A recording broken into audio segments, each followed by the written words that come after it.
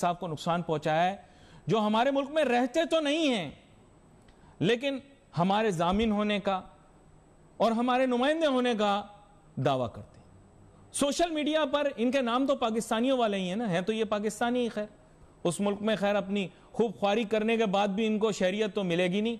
शहरियत तो जाकर इनको अमरीका, बरतानिया और दीगर और यूरोपीय ममालिक में ही मिलेगी, जिनके खिलाफ ये एहतजाज करते हैं। सीधी जो बात है यार बताओ कौन सा अरब मुल्क तुम्हें देता है शरीयत? कोई नहीं देता ना। देते वहीं हो। हैं? वहाँ जा, जाके अपना कनाडा में यूएसए में यूके में यूरोपियाई ममालिक में ऑस्ट्रेलिया में जाके शरीयत लेते हो। गलत बोल रहा हूँ क्या? लेकिन हे व्हाट्सअप गाइस कैसे हो आप लोग? हम फिर वापस आ गए हैं आपके सामने एक नए वीडियो के साथ। गाइस अगर आप इसी तरीके के वीडियो देखना चाहते हैं तो प्लीज़ चैनल को सब्सक्राइब करें वीडियो को लाइक करें कमेंट बॉक्स में अपने सुझाव शेयर करना ना भूलें। तो चलिए दोस्तों, बिना किसी देरी के पहले वीडियो को देखते हैं, फिर करते हैं वीडियो के बारे में आखिरी में बात। वीडियो जाता है तो एक अजीब व गरीब किस्म का कॉमेंट मैंने कल पढ़ा। बात यह कि महँगाई की निशानदेही करने पर, बेरोज़गारी की निशानदेही करने पर एक साहब लिखते हैं कि जनाब, ये एक एजेंडा है। हुकूमत को या हमारे फाजिल वज़ी अजम को डिफेम करने का और लोगों को मिसलीड करने का। जहरी बात है कोई भी एंकर हो, उसके दिल को दुख पहुंचेगा कि यार ऐसी बात कोई क्यों करे।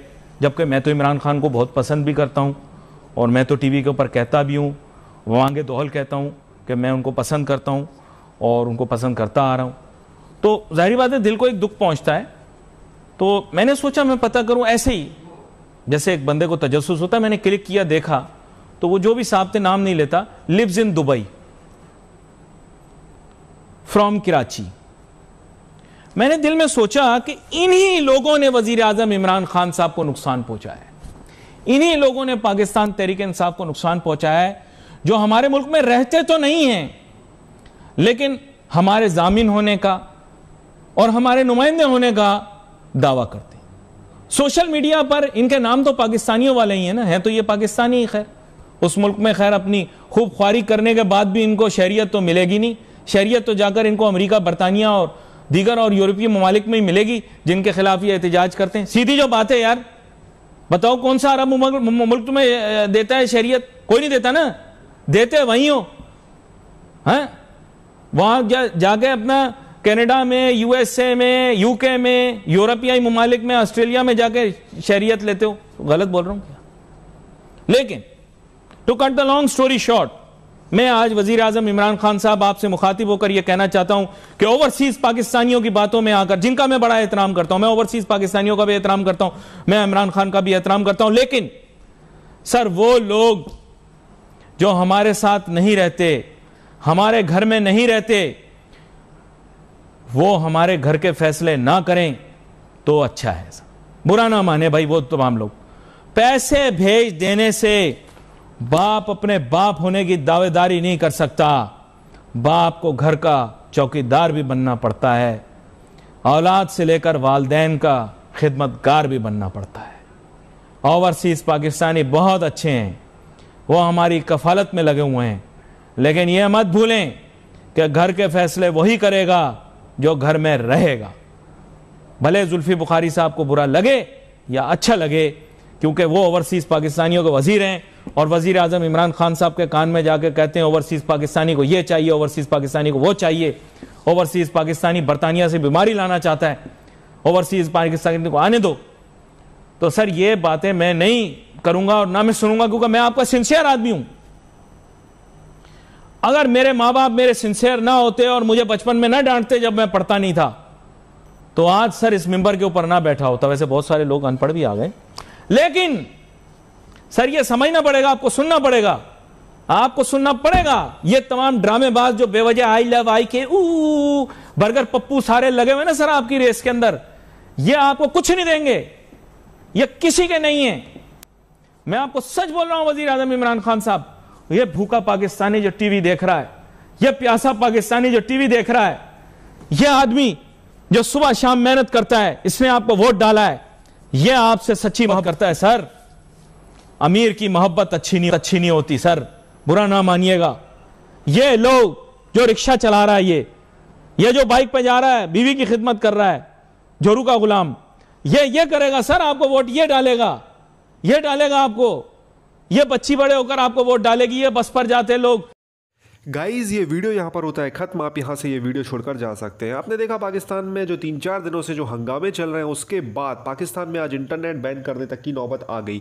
पाकिस्तान में बड़े बड़े सोशल मीडिया प्लेटफॉर्म जैसे YouTube Twitter Facebook WhatsApp Telegram इन सबको कुछ देर के लिए बंद किया गया था, जिससे कि और मतलब जो तहरीक लब्बैक के जो पार्टी के वर्कर हैं, हंगामा मचा रहे हैं, वो दुनिया तक ना देखे जा सक, दिखाए जा सके। और आपने देखा कि जो पाकिस्तान के इलेक्ट्रॉनिक मीडिया है, जो प्रिंट मीडिया है, उससे भी इस खबर को ब्लैकआउट कर दिया गया। मतलब वहाँ पर अब लोकल चैनल में इस खबर को बिल्कुल भी नहीं दिखाया जाएगा।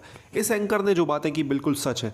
पाकिस्तानियों को वेस्टर्न कंट्रीज़ की नागरिकता चाहिए, वहाँ की सिटीजनशिप चाहिए। फ्रांस में एक लाख से ज़्यादा पाकिस्तानी घुसे हुए हैं और ये फ्रांस के मतलब फ्रांस के खिलाफ यहाँ पर पाकिस्तान में प्रदर्शन कर रहे हैं। बेसिकली पाकिस्तान के लोग इस्लाम की ठेकेदारी चाहते हैं। इस्लाम के नाम पर ये मतलब बोलते हैं कि हम इस्लाम के बैकबोन हैं, यहीं से उम्मत ये और वो जवाना फलाना ठिकाना क्या क्या बोलते रहते हैं, मुझे भी नहीं पता। ये प्रदर्शन कोई भी मुस्लिम जो रिच कंट्री है, वहाँ पर नहीं हुए। सऊदी अरेबिया वगैरह में ये कोई प्रदर्शन नहीं हुए इस्लाम, ये फ्रांस के खिलाफ, इतनी कोई बातें नहीं हुई। उनका कुछ भी उनको लेना देना नहीं इस फालतू की चीज़ से। लेकिन यहाँ के ये बेचारे गरीब लोग, ये लोग ना कुछ आगे का देखना, ना पीछे का देखना, बस पागल हो गए, अपने ही प्रॉपर्टी जला रहे हैं, अपने ही लोगों को मार रहे हैं, इस तरीके की हरकतें कर रहे हैं। इस एंकर ने बड़े प्यार से बता दिया कि सऊदी अरेबिया तो तुम्हें नागरिकता तक नहीं देता। वहाँ पे तुम ना वहाँ की किसी लड़की से शादी कर सकते हो, ना वहाँ पे तुम्हें कुछ ऐसे मतलब कुछ कानून जो तुम्हारी मदद कर सके। वहाँ पर जाओ, काम करो, पैसा लो, घर आ जाओ। इतना ही बस करता है सऊदी अरेबिया अरब कंट्री तो ये लोग मतलब क्यों इतना मरते हैं? मतलब इनडायरेक्टली ये कहने की कोशिश की। लेकिन आपको भी पता है, पाकिस्तान में इन सेंसिटिव टॉपिक पर इतना कोई खुलकर बोल नहीं सकता। हसन निसार जैसा बंदा जो बहुत दिलेरी से बात करता था, ऐसा भीगी बल्ली भीगी बिल्ली बना इस टॉपिक पर कि उसने कुछ भी कमेंट देने से मना कर दिया। तो आप समझ सकते हो ये कितना सेंसिटिव टॉपिक है।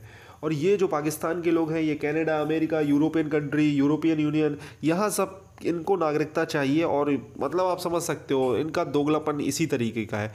वो पढ़ा लिखा इंटेलेक्चुअल हो या फिर वो मदरसे वाला डायरेक्ट जो मौलवी हो या फिर मदरसे से निकल कर कोई छोटा मोटा इंसान हो, दोनों का वो आखिर में नारा एक ही रहता है, सर तन से जुदा, गुस्तागे रसूल की एक ही सज़ा।